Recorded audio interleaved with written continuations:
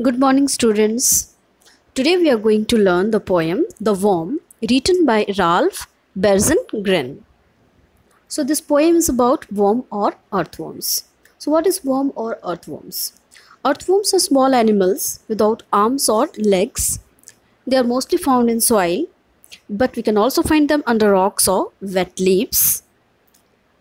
We also find them when we dig up the soil in our garden so that we can sow seeds, plant saplings, or put manure in the soil.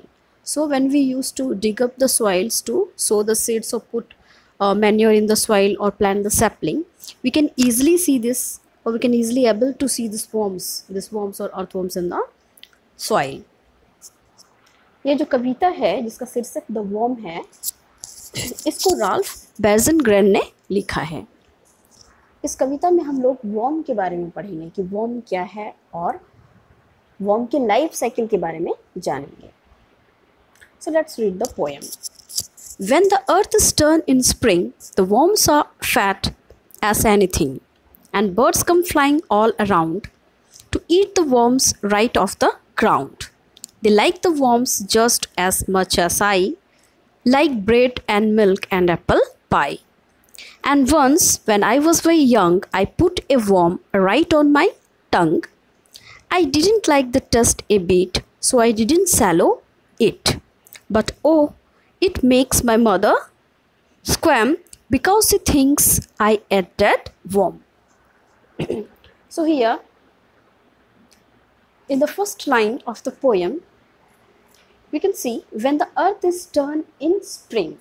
So here earth is turned in spring means earth is turned. Earth is turned in in spring. So here earth is turned in spring means the soil is dug up. The soil is dug up. So when the soil is dug up, the worms can be seen and the worms can be seen that they can be seen as fat, as fat as anything. So these worms become very fat during the spring.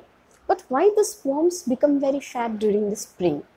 How why they become fat? What is the reason mm, they become fat? The poet says that in spring season, the poet wanted to say that, that during the spring season the earthworms get plenty of insects and fly to eat. And when they consume this plenty of in, plenty of insects and flies, what happen? They turn fat. And when they become fat, they got attracted by whom? By they got attracted by birds. Birds used to get attracted by this by seeing these worms, by seeing these fatty worms. So the and and birds come flying all around. So they started to fly all around, flying all around, just as to pick, just as to pick these worms from the ground, and they want to consume them. So how they consume birds first of all search all over the ground for earthworms.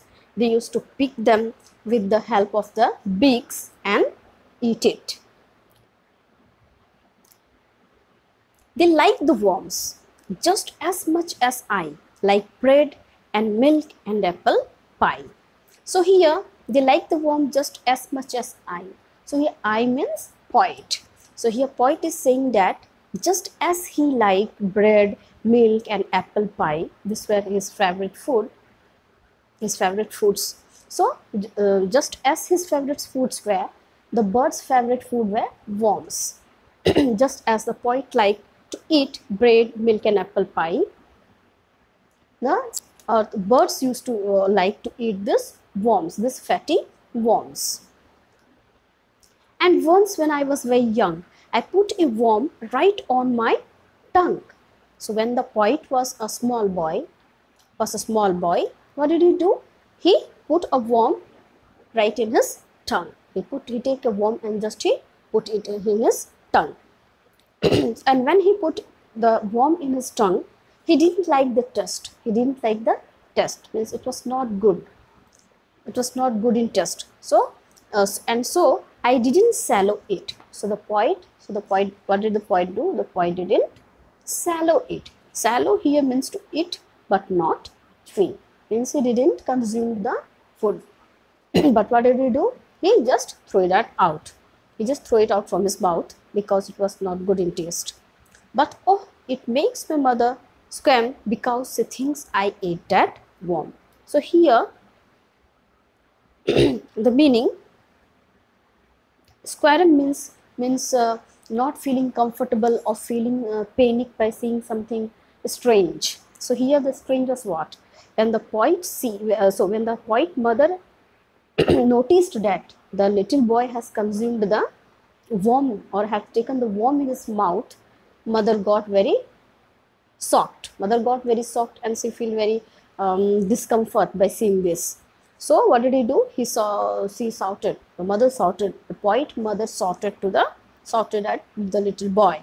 Shouted to the poet because he thought that the little boy had at the worm. So here in this picture we can see first of all the worms become during the spring season these worms become very fat and when they become very fat they got attracted by the these birds they used to bird used to search all over the ground for this fatty uh, for this fatty earthworms and they used to pick them with uh, pick them with the help of the beaks and they used to consume it means they used to eat it. And just as the poet like the bread milk and apple pie the birds also like to eat the earthworms. And there is the incident given there is the incident given the incident of the poet that he has just in his childhood put an earthworm in his tongue on his sorry in his, on his tongue because he was not aware of the taste of the earthworm. And he uh, was not aware that this uh, this is this food is this food was not good to consume. So by mistaken he had consumed the earthworm on his tongue. And uh, what happened? Uh, he was scolded by his mother for taking the earthworm in his mouth because he was in confusion because he got in confusion because he thought that the poet has the boy the boy has eaten the the worm. So this is a very short poem. This was about worm. Hope you had enjoyed the poem. Okay. So okay have a good day